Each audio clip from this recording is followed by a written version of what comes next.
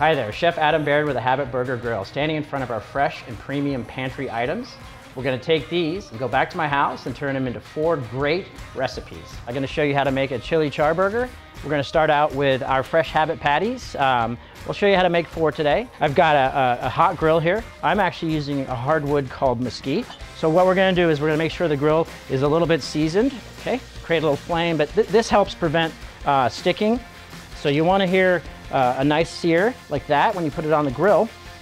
And that, that means that it's going to have great flavor and that the grill is at the right temperature to achieve that char grill effect, okay? So I'm gonna leave these alone. You don't wanna mess around too much with them. I only flip them once. Next, I'm gonna season the char burgers uh, with uh, our custom seasoning blend from The Habit, which is salt, garlic salt, and black pepper. And I'm gonna rain the seasoning from above uh, evenly. And actually, I'm only gonna season one side fairly liberally here so that it, it'll give it a nice flavor you can see the smoke coming up from the, from the fat and the juices is gonna create a marvelous flavor, okay? So I'm gonna look at the edges of these to see if they have a nice caramelization, a basically a grill mark, and that'll indicate to me that um, it's ready to flip. I, I, also am gonna clip these a little bit, um, just not all the way through, but just a little bit so that the meat doesn't curl. We want the meat to be um, flat onto the bottom of the bun so that every bite gets bun and burger. We got a nice, real hot heat here. Those patties there. You can see the nice grill marks. One other thing I'm gonna show you is um, how to lightly toast the bun. Now you can do this in the oven.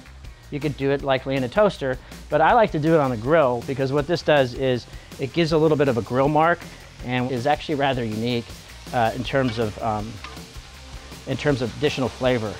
And you might as well utilize the grill since it's on so I'm gonna move the patties off to the side. Um, they're cooked through. And they've got some great flavor to them. Okay, now that the buns are also lightly toasted on the grill, uh, we're gonna take it inside and I'm gonna show you how to make the chili char burger. We'll start with our toasted bun, which we did um, on the uh, barbecue outside. Okay, so I'm gonna spread um, a nice even layer of mayonnaise on the bottom, okay? Everything that we do um, and everything you want to do with a burger or a sandwich should have a nice even uh, spread sauce and all the ingredients should be in every bite and that's important. Now I'm going to put the um, pickles on. We use dill pickle at the base. Uh, we call this the heel of the bun.